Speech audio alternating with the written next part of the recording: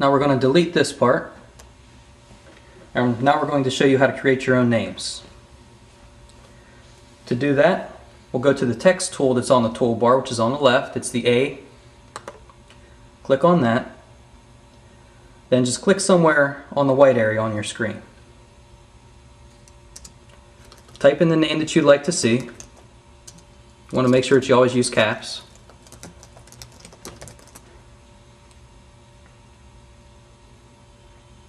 Once you have your name created, we'll just make sure it's selected.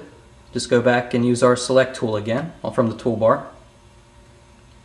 And then we'll go over to properties.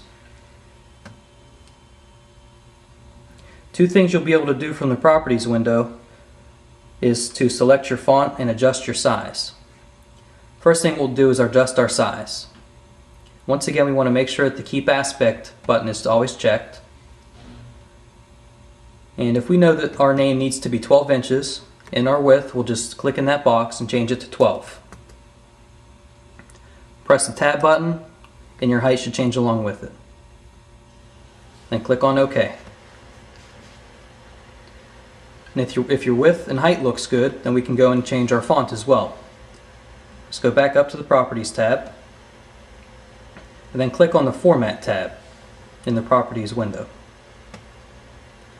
Here's where we can change our font at. Go to the font drop-down list and just select the font that you'd like to use. The fonts will vary based on the computer that you have and different fonts that you have installed. For this one, we'll choose the Impact font.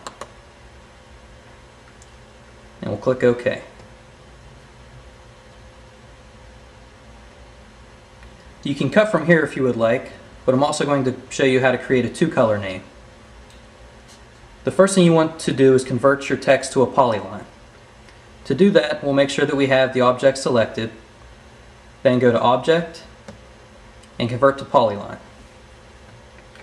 You'll notice that you won't notice any change in the file, but the Cut Studio software will. Now that we've made our text into a line, we can create our second color. To do that, we want to click on Object and then Offset.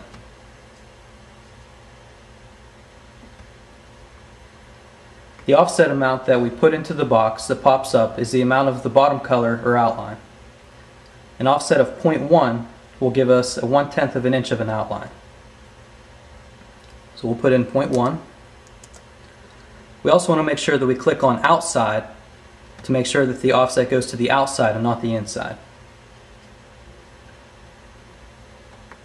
And you'll see the second color. Now before we cut, we want to make sure that we follow all the same step, steps that I talked about earlier. We want to make sure that your object is mirrored, object, and mirror, and that it's moved to the origin point. Click on move and make sure it's selected, it'll move down. Now that we're ready to cut, we'll just select the background only.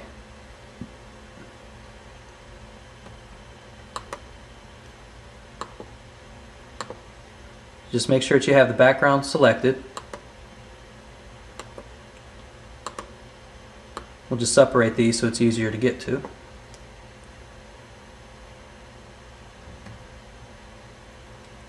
And once it's blue, then you know for sure it's selected. And go up to Object, or I'm sorry, to File, and Cutting.